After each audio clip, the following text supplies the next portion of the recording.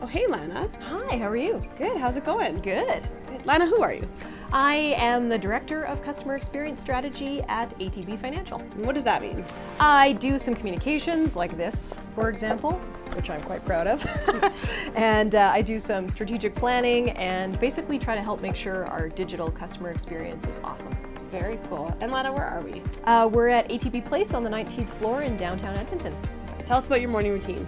I get to work, grab coffee. Speaking of which, let's head over there now. Awesome. I check my calendar, check my email, and usually end up in a meeting, and then I'm in meetings for a lot of the day. and you're skipping this one. Uh, yes, skipping this one. And then you have to play some foosball. Uh, yeah, always. Lana, what did you do this weekend? Uh, I held an event that tried to uh, encourage women who didn't know much about political campaigns to get involved for Parity YEG. And what is Parity YEG? Uh, it's an organization that tries to get more women to run for political office. Very cool. And why is that so important? We need diverse voices around our decision making tables. Lana, what are you most proud of for 2018? Uh, a few things. Uh, I was uh, top 40 under 40 for Avenue Magazine and landed on the cover to my surprise. Very cool. and uh, but more importantly, very proud of some of the goals that Parity YEG achieved in that year.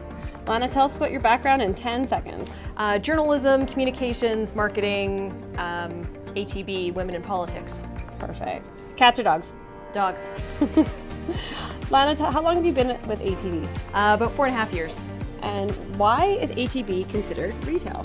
Uh, we have about 700,000 retail customers, so a big focus of the business is retail banking, and uh, we're increasingly focused on our digital retail experiences, like on cell phones. And what are you working on for the next year? um, working a little bit with our banking operations team, which is a new part of the portfolio I'm part of, and uh, all kinds of interesting, fun communication stuff. Very cool. And how do you take your coffee? Black. Great.